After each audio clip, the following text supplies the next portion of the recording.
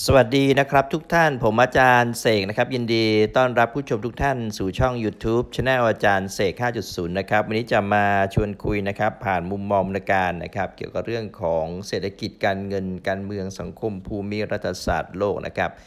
ซึ่งมันเกี่ยวข้องกับนโยบายนะครับออของช่องผมนะซึ่งได้ตั้งมาแล้วประมาณ 4 ปีกว่านะครับ ก็ในช่วงประมาณ 1 เดือนที่ผ่านมานะครับ ก็ได้รับสัญญาณเหลืองนะครับ หรือเป็นป้ายเหลืองนะซึ่งถือเป็นสัญญาณเตือนนะครับสำหรับผมนะที่ส่งมาจากทางด้านคู่หุ้นส่วนนะนั่นก็คือว่าเวลาเราทำคลิปออกไปนะครับ ถ้าเขาขึ้นป้ายเหลืองเนี่ยนะแปลว่าสัญญาณเตือนนั่นเองนะแล้วก็เขาก็จะไม่ค่าโฆษณาเรานั่นเองนะ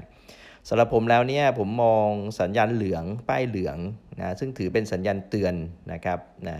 แล้วก็เมื่อพินิจพิจารณาดูนะครับนะถึงสัญญาณเตือนต่างๆเนี่ยก็อาจจะเป็นไปได้ว่ามาจากตัว AI นะของระบบนะครับที่อาจจะมีการตรวจจับคำหรือไม่นะหรือว่ามีการ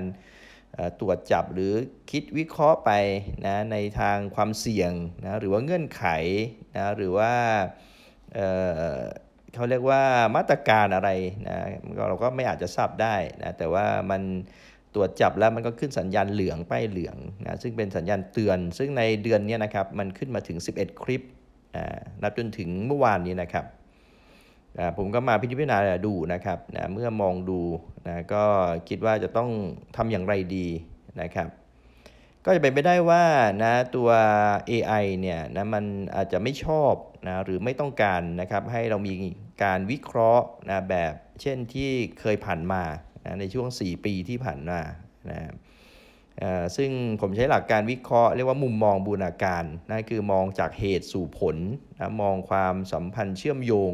ของเหตุปัจจัยต่างๆนะครับอย่างเป็นระบบแล้วก็มีความรอบด้าน แล้วก็มีความยืดหยุ่นนะนั่นคือหลัก ในการวิเคราะห์ผมมาในตลอดนะเกือบ 4 ปีนะครับของช่อง YouTube Channel จันเสก 5.0 นะครับ คราวนี้เนื่องจากว่าเมื่อมีนะสัญญาณเตือนมาอย่างนี้เนี่ยนะครับนะเราก็ต้องฟังคำเตือนนะครับเพราะว่าเป็นคู่หุ้นส่วนกันนะครับ ก็ต้องฟังคำเตือนไม่เช่นนั้นเนี่ยก็อาจจะถูกมาตรการที่หนักขึ้นนะเช่นอาจจะมีการสั่งแบนห้ามเรา รือมีการเซ็นเซอร์นะครับนะต้องแก้ต้องปรับตรงจุดไหนนะแล้วเราก็ถึงจะพ้นออกมานะจากพวกสัญญาณเหลืองอย่างเงี้ยเป็นต้นนะครับ หรือถ้าเกิดเรายังฝืนทำไปก็จะถูกปิดช่องไปในที่สุดก็เป็นไปได้นะครับ เพราะนั้นนะจึงมาเล่าสู่กันฟังนะครับถึงการที่จะเปลี่ยนแปลงนโยบายของช่องนะครับนะเพื่อความเหมาะสมนะเพราะนั้นโปรดทราบนะครับนะ เขาเรียกว่าเมื่อเรานะเป็นคู่หุ้นส่วนกันนะมีสัญญาณเหลืองป้ายเหลืองมาเตือนนะครับนะเขาเรียกว่าตามมารยาทที่ดีนะตามมารยาทที่ดีนะระหว่างคู่หุ้นส่วน แล้วก็การรักษานะความเป็นพันธมิตรนะครับหรือคู่หุ้นส่วนกันเนี่ยนะครับนะเราก็ต้องเงี่ยหูฟังนะครับเราคงไม่เสียมารยาทนะครับหรือว่าพยายามจะทำลายความสัมพันธ์นะด้วยความดื้อรั้น ด้วยความดื้อดึงนะที่จะไปต่อไปต่อ และสุดท้ายมันก็ไม่เกิดประโยชน์กับทั้งสองฝ่ายนะครับนะเพราะนั้นด้วยสิ่งที่พบมาในช่วงประมาณเกือบเดือนที่ผ่านมานะกับคลิปที่ติดป้ายเหลืองแบบนี้นะครับนะถึง 11 คลิปนะซึ่งไม่ค่อยได้เห็นนะครับนะนับตั้งแต่ปี 2019 นะเป็นต้นมาเนี่ยนะครับนะจนกระทั่งเกิดวิกฤตโควิด -19 เนี่ยนะไม่ไม่ค่อยเห็นป้ายเหลืองแบบนี้นะครับ อาจจะมีสักเดือนหนึ่งมีสักประมาณ 1 คลิป 2 คลิปอะนะครับนะที่มีป้ายเหลืองแบบนี้นะครับนะแต่ว่าเดือนนี้นะครับนะเดือนกันยายนปลายกันยายนมาถึงต้นตุลาคมเนี่ยโดนไปถึง 11 คลิปนะครับนะซึ่งก็เป็นสัญญาณที่ก็ต้องเงี่ยหูฟังนะก็เป็นการรักษามารยาทที่ดีนะครับ เพราะฉะนั้นผมจึงเปลี่ยนแปลงนโยบายของช่องเพื่อความเหมาะสมนะครับนั่นก็คืออาจจะต้องพูดด้านลบให้ลดน้อยลง แล้วก็พูดบวกให้มากขึ้นนะครับกับสถานการณ์เศรษฐกิจการเงินการเมืองสังคม แล้วก็ภูมิรัฐศาสตร์โลกนะครับ แล้วก็ล่าสุดนะครับผมก็ได้นะทดลองใช้ Woof นะครับ V O O V นะเป็นแอปพลิเคชันหนึ่งนะของ ทางบริษัทของจีนนะชื่อว่า Tencent เนี่ยซึ่งมันสามารถจุคนได้ถึง 300 คนนะครับ แล้วก็ใช้เวลาประชุมเนี่ยได้ยาวนานถึง 9,999 นาทีนะและที่สำคัญก็คือใช้ฟรีด้วยนะครับ ซึ่งมันมีความสามารถที่เหนือกว่าระบบซูม ระบบซูมเนี่ยจะจุคนได้ประมาณสักร้อยคนนะครับใช้เวลาประชุมคำว่าร้อยคนนี้ต้องเสียค่ารายเดือนนะครับ นะแล้วก็ประชุมได้ต่อเนื่องเหมือนกันนะจำไม่ได้กี่นาทีนะครับแต่ต้องเสียค่ารายเดือนแต่วูฟขนาดนี้นะจุคนได้ถึง 300 คนเยอะกว่า แล้วก็ใช้เวลาประชุมได้นานถึง 9,999 นาทีต่อการประชุมนะครับแล้วก็ฟรีด้วยนะจึงน่าสนใจ ผมก็ลองโหลดมาใช้ดูก็ปรากฏว่าใช้ไม่ยากนะคล้ายๆกับระบบซูมนะก็คล้ายๆกันนะครับมันสำหรับ FC และผู้รับชมนะที่ยังต้องการนะการวิเคราะห์แบบเข้มข้น นะแบบจัดเต็มนะในมุมมองบูรการที่ผ่านมาตลอด 4 ปีนะครับนะ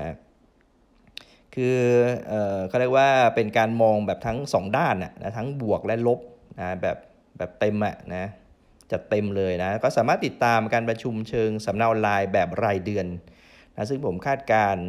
นะครับว่าจะจัดสัปดาห์ละ 1 ครั้งนะครับนะในช่วงอาจจะเป็นช่วงบ่ายวันอาทิตย์นะช่วงราวประมาณสัก1ถึง1ชั่วโมงครึ่ง ก็คาดการว่าถ้าเกิดนะรวบรวมกลุ่มได้นะครับนะหลาย 10 ถึงหลายร้อยคนเนี่ยนะครับก็อาจจะปลายเดือนนี้นะครับตุลาคมเนี้ย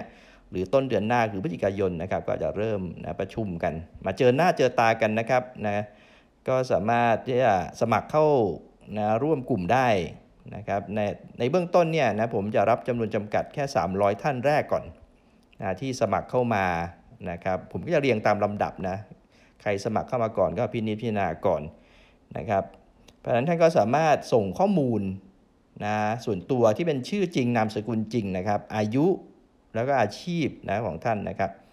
ก็ส่งเข้ามานะเพราะว่าผมต้องคัดกรองก่อน เพราะว่ากลุ่มที่เข้ามาในกลุ่มอาจารย์เสก5.0 เนี่ยก็ต้องบอกว่าเป็นกลุ่มที่เเป็นการน้ำมิตรนะเป็นกลุ่มที่รักกันจริงนะเป็น เป็นเพื่อนแท้อะไรประมาณนี้นะสำคัญคือจริงใจต่อกันนะครับ เพราะนั้นจึงต้องมีข้อมูลชื่อนามสกุลจริงอายุอาชีพนะครับเพื่อส่งเข้ามานะต้องสมัครผ่านอีเมลเท่านั้นนะครับนะส่งเข้ามาในไลน์เนี่ยใช้ไม่ได้เพราะว่าในกลุ่มที่ผมจะตั้งขึ้นมาเนี่ยนะจะใช้อีเมลเป็นหลักนะเวลาส่งข้อมูลนะครับแจ้งไอตัว meeting ID นะกับ meeting password เนี่ยนะจะส่งผ่านเข้าไป นะในอีเมลนะไม่ได้ส่งผ่านไลน์นะครับ เพราะฉะนั้นเวลาสมัครท่านจะต้องส่งไลน์มาสมัครนะตามอีเมลของผมนะครับอาจารย์เสกสิทธิ์นะ at gmail.com นะนี่ยครับตาม Account นี้เลยนะครับ ก็ส่งข้อมูลมานะครับก็คือชื่อนามสกุลจริงนะครับ อายุนะแล้วก็อาชีพของท่านนะครับ นะจริงเล่าสู่กันฟังนะครับนะว่าก็จะคงไว้นะทั้งมาตรฐานนะครับสำหรับมุมมองบูรณาการนะเพียงแต่ว่าต้องเปลี่ยนแพลตฟอร์มนะเพราะว่าแพลตฟอร์มที่นี่นะอาจจะมีข้อจำกัดบางประการนะตามที่เล่ามาแล้วที่เขาส่งสัญญาณเตือนมานะครับนะผมก็เป็นคนที่รักษามิตรภาพนะรักษามารยาทที่ดีนะครับเพราะว่าที่นี่ก็เป็นแพลตฟอร์ม ของเขานะครับแล้วเราก็ไปหาแพลตฟอร์มนะที่จะพูดคุยได้แบบเดิมแบบเข้มข้นมันการเปลี่ยนแปลงนโยบายนะครับช่องนี้ก็เป็นไปเพื่อความเหมาะสมนะครับนะที่จะหนึ่งก็คือรับฟังคำเตือนนะครับจากคู่หุ้นส่วนนะครับแล้วก็รักษามารยาทที่ดีนะครับต่อคู่หุ้นส่วนนั่นเองนะครับแล้วก็ยังคงที่จะรักษาระดับคุณภาพนะครับมุมมองบูรการนะครับกับ FC และผู้รับชมนะ ที่ยังคงต้องการนะความเข้มข้นนะการมองรอบด้านนะครับ แล้วก็เป็นการกล้ามองนะที่อยู่บนหลักของการที่ผมพูดแล้วว่าการพูดจริงนะครับ ไม่พูดเท็จนะพูดสุภาพนะครับ ไม่พูดคำหยาบนะครับ พูดสมานสมัคคีนะครับ ไม่ได้พูดนะให้แตกแยกกัน พูดสิ่งที่มีสาระประโยชน์นะครับ ไม่ได้พูดสิ่งที่ไร้สาระประโยชน์นะครับ และสำคัญก็คือสร้างความใกล้ชิดนะให้มากยิ่งขึ้นนะครับในกลุ่มชุมชนนะครับที่เป็นการมิตรนะในช่องอาจารย์เสก 5.0 นะครับจึงเล่าสู่กันฟังนะครับนะเข้าใจการเปลี่ยนแปลงนะใครชอบนะครับ ฝากไลค์แชร์นะครับ สนใจก็สามารถติดตามในช่อง YouTube ช anel อาจารย์เสกนะครับ ต้องขอขอบคุณในทุกไลค์แชร์ติดตามนะครับท่านที่การร่วมสมุดสนับสนุนช่องนะก็ตามบัญชีนี้ได้เลยนะครับ แล้วเจอกันใหม่คลิปหน้าสวัสดีครับ